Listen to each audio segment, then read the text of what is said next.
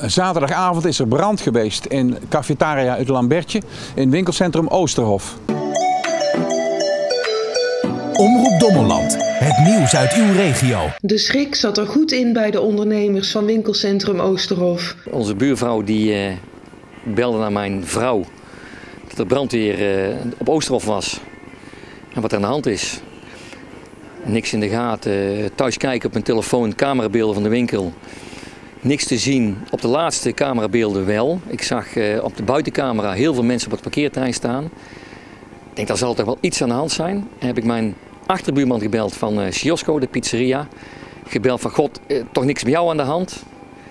Niet bij hem, maar bij Cafetaria Lambertje. Nou, heel snel Ingrid gebeld van het Lambertje. En die wist me te vertellen dat er brand was.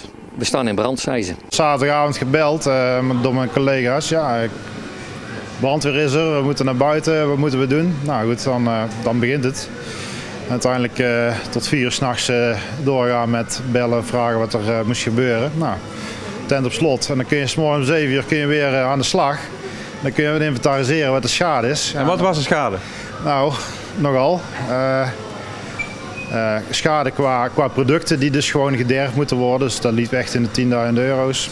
Maar goed, we zijn alweer een heel eind op de rit. En uh, ik denk dat we einde van de dag wel weer, uh, weer helemaal oké okay zijn. Heeft de brand nog gevolgen voor jouw zaak?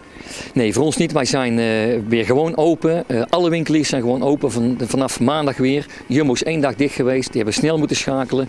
Schoonmaakploeg erin.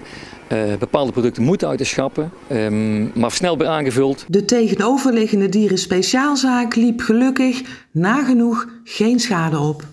De eigenaren van het Lambertje wilden begrijpelijkerwijze liever niet op beeld hun verhaal vertellen. Wel gaven ze aan dat er geen sprake is van brandstichting en dat de brand ontstaan is in de keuken.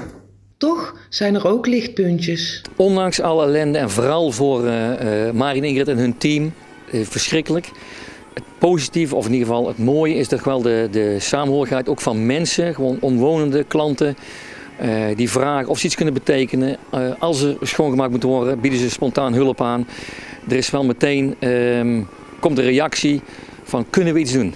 En dat is ook alweer, ondanks alle ellende, toch wel weer mooi dat mensen dat spontaan aanbieden. Maandagmorgen gewoon weer open vanaf 8 uur.